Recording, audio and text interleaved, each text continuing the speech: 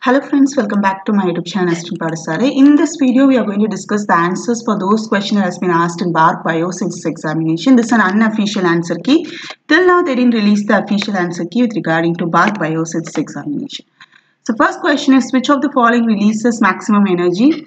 The correct answer for this question is that option number A, that is when ATP, it get converted into ADP, then it will be releasing a high amount of energy because we all know ATP is an energy currency of cell and it is the highest amount of energy containing molecule.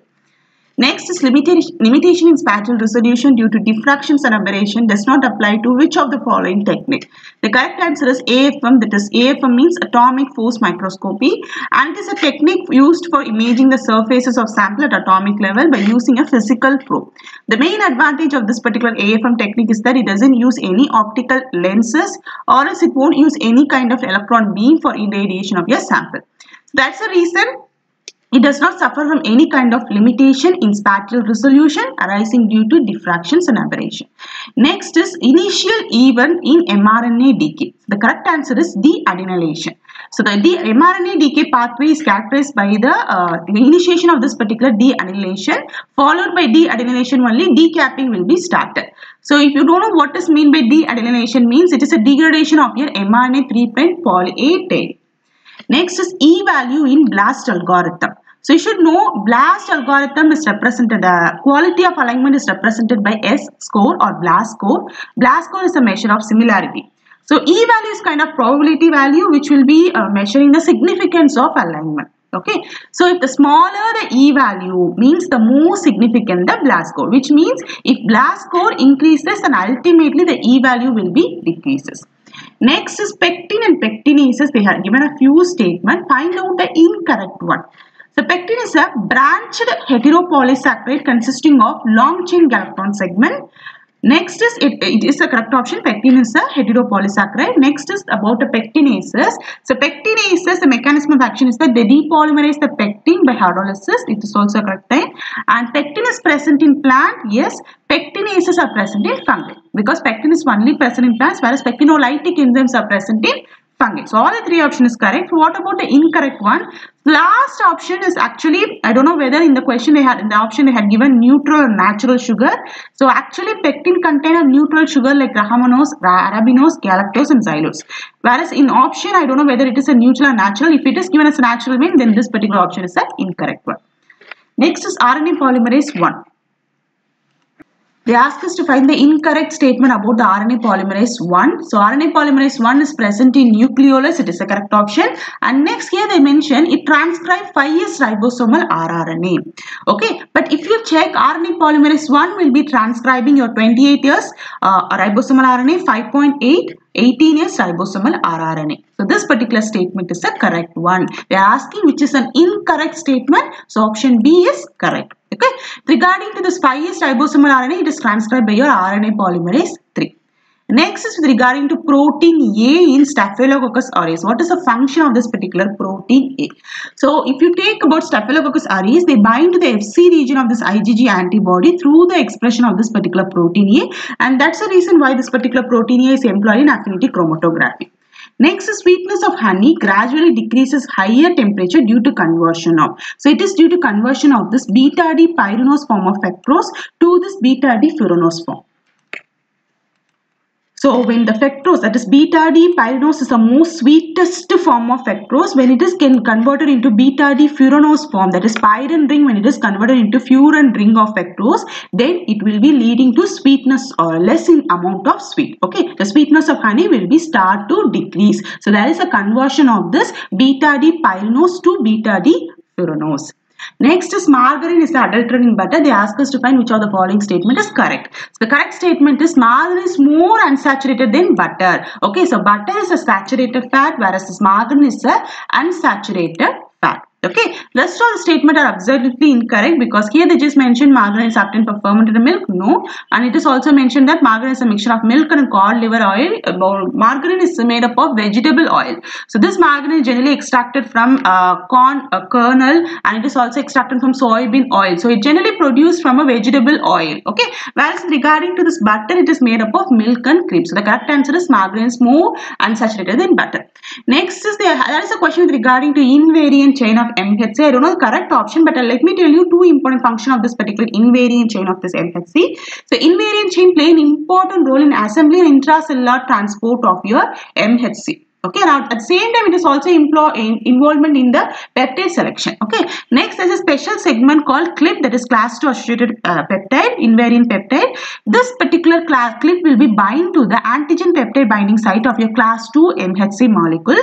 It will bind until the class 1 M class 2 MHC molecule reach out the intracellular compartment that contain a peptides from internalized antigen. Okay so generally this particular invariant chain they protect the MHC by binding to self endogenous peptide. Okay so this particular invariant chain they are involved in limiting or preventing the MHC molecule from binding to the self endogenous peptide Next, there is an important question that is asked about the pasteurization process of milk, which particular technique, which particular enzyme is employed. The correct answer is alkaline phosphatase enzyme is employed. So, when you take pasteurized milk, this particular enzyme will be uh, inactivated, whereas in raw milk, this particular enzyme will be present. Okay.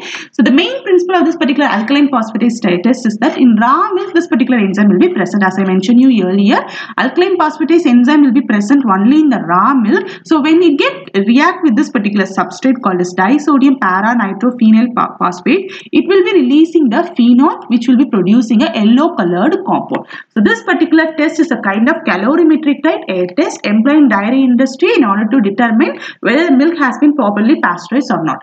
Next there is an important question has been asked about the recombination process. They ask which protein is important in resolving the Holliday structure. The correct answer is RUVC is a protein which is actually an endonuclease.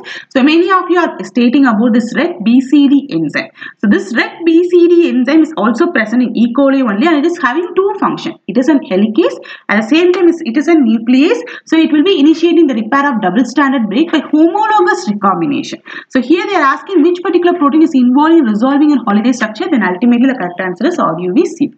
Next is pseudopodia. They ask us which following pseudopodia will be having a branched extension. The correct answer is Filopodia. So here I had given a following statement. Uh, so based on the appearance, a pseudopodia classified into four important types. Okay. So if you take this Filopodia, it is a slender and it is a branching structure. Okay. So here they are asking about a branched extension. So ultimately the correct answer is Filopodia. Next, there's one question has been asked about food allergy. Food allergy belong to which type of hypersensitivity mediated by which type of uh, antibody present on mast cell? The correct answer is type 1. Food allergy is mediated by type 1 hypersensitivity and this type of hypersensitivity is mediated by IgE antibody.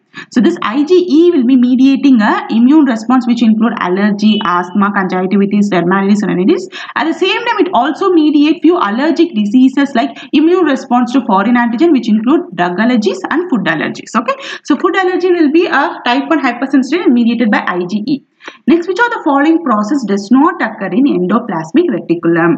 So, first is N-link glycosylation. So, here you can able to find N-link glycosylation will be occurring in endoplasmic reticulum whereas O-link protein glycosylation will be occurring in Golgi. Next is with regard to disulfide bond. Disulfide bond formation is also occurring in this AR, ER endoplasmic reticulum only. Next is with regard to this ubiquitination. Ubiquitination is also uh, in the cytosolic side of the endoplasmic reticulum. So, the correct answer is phosphorylation does not occur in the endoplasmic reticulum. Okay, so then you ask me where this phosphorylation will be occurring means this particular phosphorylation which is again a post-translation modification and it happens, it occurs in cytosol or nucleus on the target protein. Okay, so it won't occur in the endoplasmic reticulum. Next is identify the odd one out. So correct answer is EMBL whereas EMBL is a primary a sequence database whereas this eMOTIF, CATH and PROSITE they are coming under a secondary structure. They generally hold a motif and domain of a protein whereas this EMBL is a nucleotide sequence database. Next is fungal spore question has been asked. So here you can be able to find example of asexual spore which includes sporangiospore, conidiospore. So if you take first option, uh, they just mentioned a sporangiospore is an asexual and it's enclosed. This is the correct option. So here you can able to see sporangiospore is an example of asexual spore and it is produced in a sac-like structure called sporangia. So this particular answer is the correct thing. Whereas if you take this ascospore, uh, so if you take that particular thing, it is an sexual spore. But here they just mentioned it is an asexual spore. So you can completely eliminate option number B. Whereas if you take option number C, which include basidiospore, again basidiospore is the sexual spore. Yes, it is a correct option. It is coming under a basidiospore. It's a sexual spore, but it is enclosed in a basidium. But here they have given it is not enclosed. So you can eliminate this particular option also. Next is conidiospore. Of course, this conidiospore doesn't enclose any kind of sac-like structure, but it is coming under asexual category. But here they have mentioned it as a sexual spore. So the correct answer is sporangiospore, which is an asexual and it is enclosed in a membrane called uh, sac called sporangium. Next is eudicot like uh, Arabidopsis tomato. Lateral root arise from. So lateral root will be arising from pericycle of the primary root. Next is all are cofactor for this pyruvate dehydrogenase complex except the correct answer for this particular question is biotin. Okay, whereas if you take this uh, TPP that is thiamine pyrophosphate, lipoyl lipo, lipoic acid or uh, coenzyme A or all are cofactor for this pyruvate dehydrogenase which is a complex which is made up of three important subdivision. So you should read about this particular enzyme. This particular question has been asked. You can find this particular question in GATE XL, GATE BT and even CSIR examination. So the correct answer is biotin which is not a cofactor for this pyruvate dehydrogenation. Next they were asking one question regarding to water loss from tips of gases which particular organ is responsible.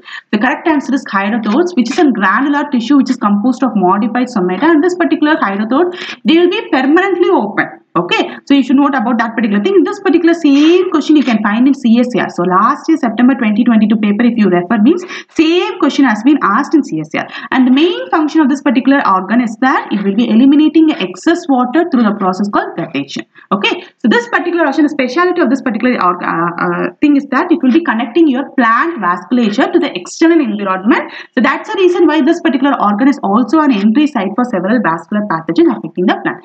Next is mannitol salt salt is commonly used as a selective media and differential growth media for isolating which organism? It is Staphylococcus because it is a selective medium because it will be holding a NaCl salt in there whereas uh, if you take the Staphylococcus alone can able to grow in the presence of 7.5 percentage of sodium chloride which is present in this particular agar whereas rest of other organism will be inhibited. That's why it is called a selective medium. At the same time it, this particular mannitol is a fermentable carbohydrate source. Okay, so only the Staphylococcus aureus will be growing on this particular medium, and they will be fermenting the mannitol to produce this yellow color colonies. Whereas coagulase negative species of Staphylococcus or some other species, they will not, they don't have a capacity to ferment this mannitol, and they will be producing a red color colonies. Okay, so how color will be determined means in the media the bile salt will be present, mannitol will be present. At the same time, they will be incorporating the phenol red. Okay, as a color indicator. Next, they are asking about the type of signal. So here they have given, they have given proline, proline, lysine, lysine, lysine, arginine, lysine, valine. So this particular signal is important to transport substances. Uh, they are they are involving in transporting the substances into the nucleus. So it is an import nucleotide signal, nucleus signal. Okay, so this particular signal will be present in all those substance or all those chemical molecules that are uh, transported that are destined to get enter into the nucleus. So this particular signal is for importing substances into the nucleus. Okay. Next is vacuum packaging by gamma radiation and by heating at 10 degrees Celsius for 10 minutes will be killing. So this vacuum packaging is generally employed in killing only aerobic bacteria. It won't kill uh, uh, anaerobic bacteria. Okay. So this vacuum packaging is involved in killing only your aerobic bacteria. Next there is some question regarding to NMR isotopes. The correct answer is uh, N15 and carbon 13 are generally employed for NMR studies. Okay. Because they can able to spin the magnet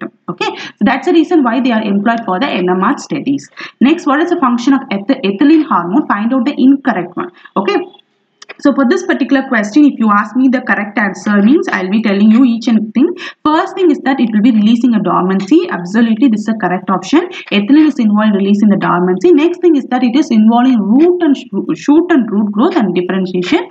But this particular option is not with respect to ethylene. It is a function of auxin hormone. So I hope this particular option is an incorrect one. And for this particular question, since they ask us to find the incorrect statement, option B is correct. Whereas if you check rest of the two options, leaf and food, uh, yes, it is a uh, uh, function of this particular ethylene hormone and suppression of senescence. Okay, so if you take ethylene hormone, depending upon the amount or concentration of ethylene, it will be suppressing a senescence or sometimes it will be promoting the senescence. Okay, but generally ethylene, abscisic acid, jasmonic acid, salicylic acid, they will be promoting the senescence, whereas cytokine, they will be suppressing the senescence. So I don't know whether option B is correct or whether option D is correct because both the statement absolutely option B is incorrect one because it is a function of auxin hormone. Okay. So for this particular question, option B is the correct one.